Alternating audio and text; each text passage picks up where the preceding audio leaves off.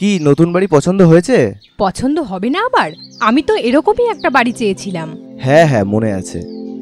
শহরের কোলাহল থেকে অনেক দূরে নির্জন নদীর পাড়ে একটা ছোট্ট বাড়ি। এই তো? একদম তাই। এই দেখো জানলা খুললেই কেমন নদী দেখা যাচ্ছে।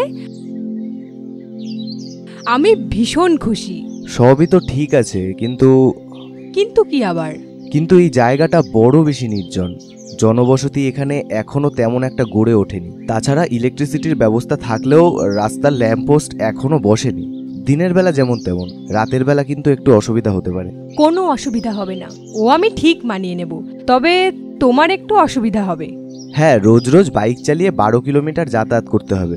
এই যা। তবে খুব বেশি দিন মনে হয় করতে হবে না বুঝলে? কেন? কোম্পানির এই চত্বরে একটা গ্রামীণ ব্রাঞ্চ করবার প্ল্যানিং চলছে। ওমা তাই নাকি? তা কবে করবে? এই সেপ্টেম্বরেই সম্ভবত হয়ে যাবে। বাহ তাহলে তো আর পাঁচ ছ মাস।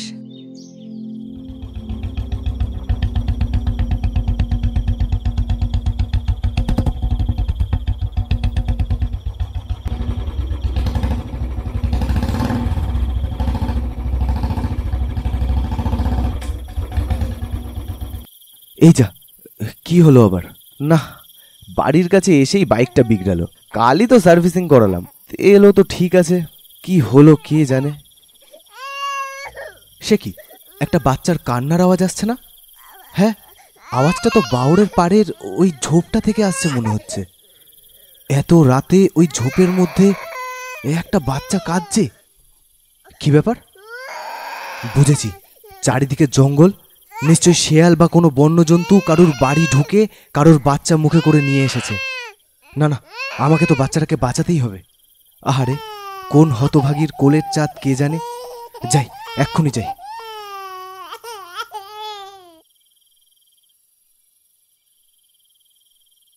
হ্যাঁ এই ঝোপের মধ্যে থেকেই তো। সে কি? এই তো একটা সদ্যজাত শিশু মনে হচ্ছে। কিন্তু এতটুকু বাচ্চা নিজের পায়ে দাঁড়িয়ে আছে কি করে? যাই, কাছে গিয়ে দেখি তো।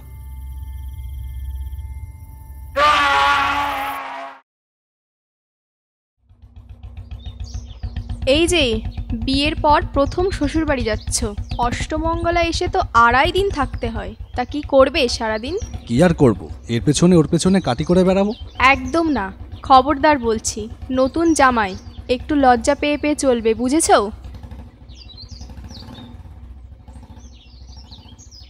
তবে যাই বলো তোমাদের গোবিন্দপল্লী গ্রামটা কিন্তু দারুণ।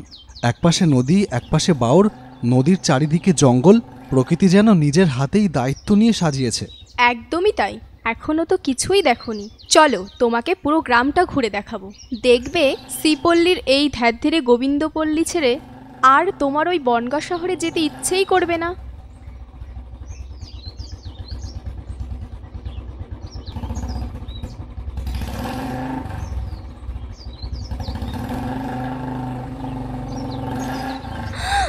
এ কি? কি হলো? আবার ওরকম খামচে ধরলে কেন? চুপ কথা বলো না। এই জায়গাটুকু তাড়াতাড়ি চালাও। আচ্ছা সর্বাণী। এর আগেও দেখেছি এই জায়গাটায় আসলেই তুমি ভয়ে কেমন কুকুরে যাও। কি আছে বলো দেখি এখানে? আহ বললাম তো চুপ করে গাড়ি চালাতে। চলো তাড়াতাড়ি।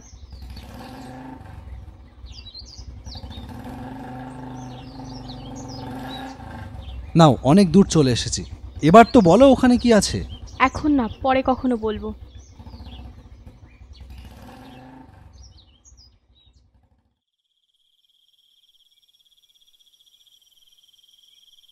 না, খাসির মাংসটা একটু বেশিই খাওয়া হয়ে গেছে। পেটটা কেমন ভারী হয়ে আছে। ঘুমও আসছে না কিছুতেই। এই যে এই যে শুনছো? সর্বাণী? এই সর্বাণী। না, ঘুমিয়ে নালিয়ে নিয়েছে একেবারে। থাক, ওকে আর ডেকে কাজ নেই। আমি নিজেই বরং উঠে একটু হাঁটা চলা করি।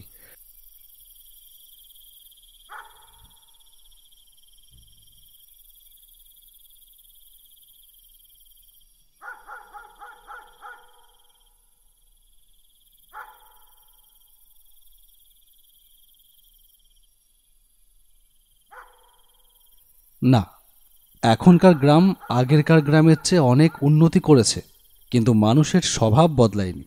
খেয়ে দেয়ে দশটার মধ্যে ঘুমিয়ে পড়তেই হবে।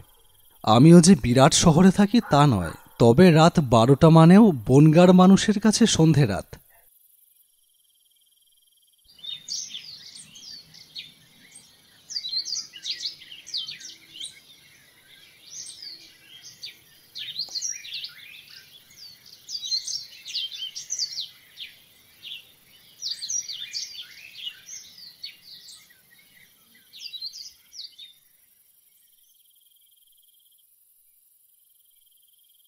বাড়ি থেকে মানে শ্বশুর বাড়ি থেকে বেরিয়ে কংক্রিটের রাস্তায় এসে দাঁড়ালাম। সামনে ধান ক্ষেত। তার ওপর গোল থালার মতন রূপলি চাঁদটা একা একা আলোক বর্ষণ করে চলেছে। দুটো নাম না জানা রাত পাখি ডানা ঝাপটাতে ঝাপটাতে এক প্রান্ত থেকে অন্য প্রান্তে উড়ে চলে গেল। এ এক ভারী সুন্দর দৃশ্য। এরকম নির্জন রাতের কাছে শেষ কবে এসে দাঁড়িয়েছি মনে করতে পারলাম না। ইচ্ছে হলো একটা গান ধরি, কিন্তু পরক্ষণেই আমার অসাধারণ গানের গলার কথা মনে পড়ল।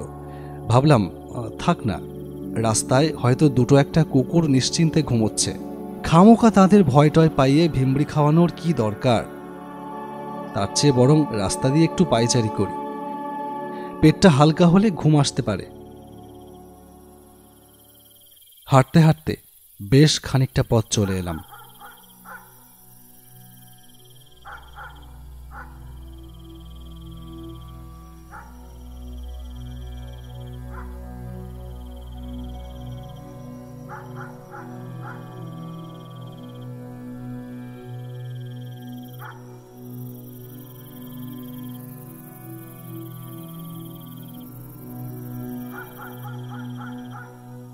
ঠিক যে জায়গাটায় এলে সর্বাণী আমাকে খামচিয়ে ধরে, সেই জায়গাটার সামনে এসে থমকে দাঁড়ালাম।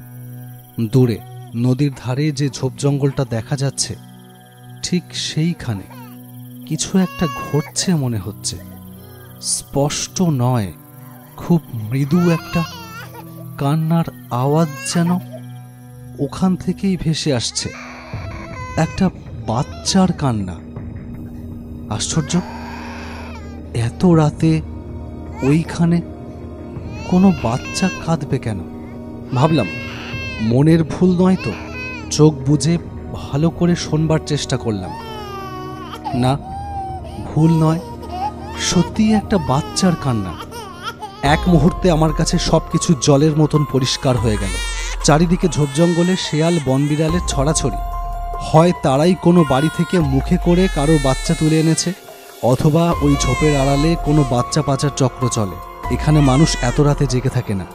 অপকর্ম করবার এটাই আদর্শ জায়গা। আর দেরি নয়, পরিমরি করে সেই ঝোপের দিকে দৌড় লাগালাম।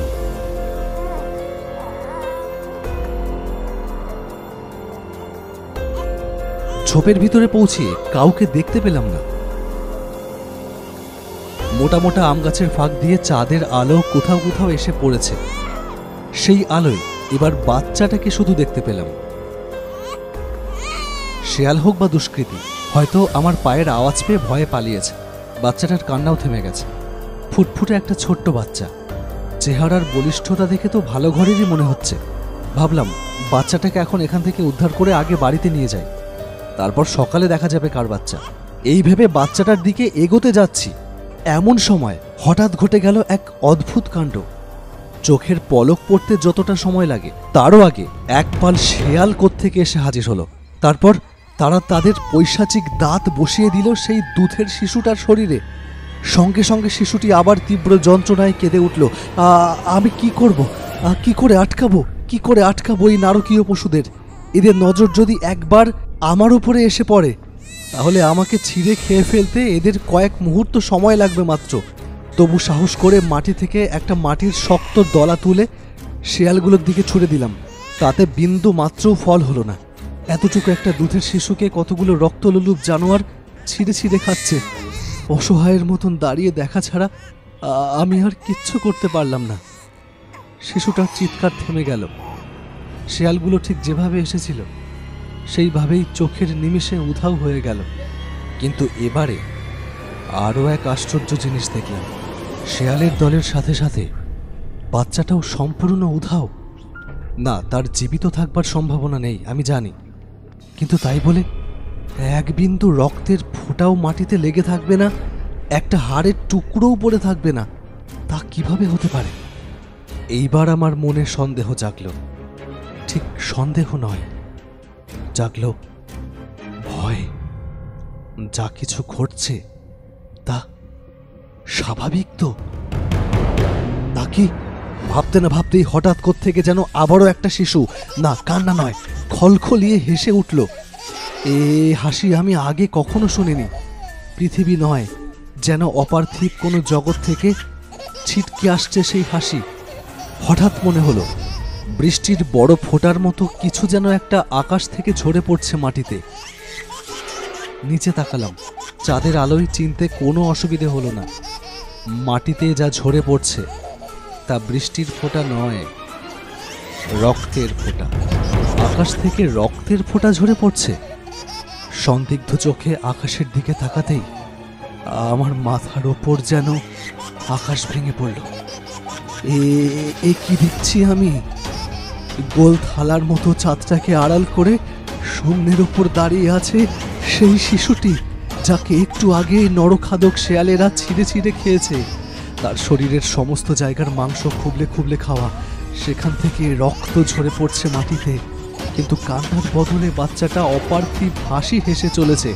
জীবনে কোনোদিন এরকম নারকীয় দৃশ্যের সামনে এসে দাঁড়াবো তা স্বপ্নেও ভাবিনি। ভয় কাকে বলে? তা জীবনের প্রথমবার বুঝলাম। আর এও বুঝলাম যে আমি আর নিজেকে সব সজ্ঞানে ধরে রাখতে পারছি না। জ্ঞান হারিয়ে মাটিতে লুটিয়ে পড়লাম।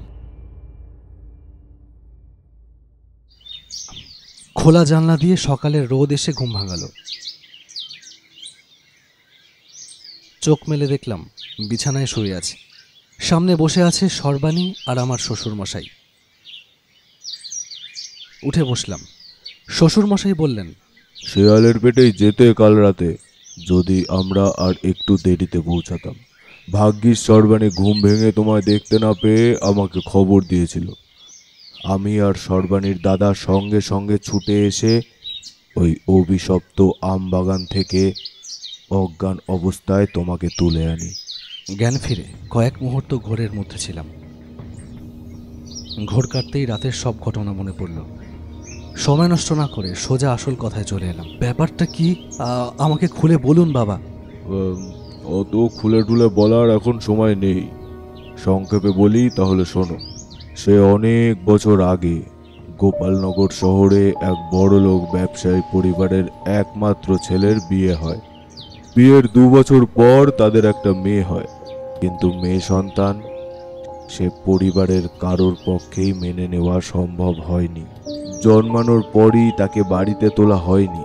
শহর থেকে অনেক দূরে এই গোবিন্দপল্লীতে। তখন অবশ্য এখানে জনবসতি গড়ে ওঠেনি। তো এই গোবিন্দপল্লীর এই আমবাগানের ঝোপের মধ্যে সেই সদ্যজাত মেয়ে সন্তানটিকে ফেলে যাওয়া হয়। জঙ্গলের ক্ষুধার্ত শেয়ালেরা থাক আর বলতে হবে না। বুঝেছি। তারপর বলুন। তার কয়েক বছর পর গোবিন্দপল্লীতে বসতি গড়ে উঠল। আমবাগানের সামনে দিয়ে সোজা রাস্তা উঠল। অনেক রাতে যখন কেউ ওই আমবাগানের ঝোপের সামনে দিয়ে যাওয়া আসা করে, তখন মাঝে মাঝে সেই বাচ্চার কান্নার আওয়াজ শুনতে পায়। অষ্টমঙ্গলার আড়াই দিন কোনো মতে কাটালাম। গোবিন্দপল্লীতে আর মন ঠিক ছিল না। পরদিন সকালেই সর্বাণীকে নিয়ে বনগার পথ ধরলাম। মনে মনে সৃষ্টিকর্তার কাছে প্রার্থনা করলাম, সেই অসহায় অভাগিনী শিশুটি যেন সর্বাণীর গর্ভে আমার প্রথম কন্যা সন্তান হয়ে জন্ম নেয়।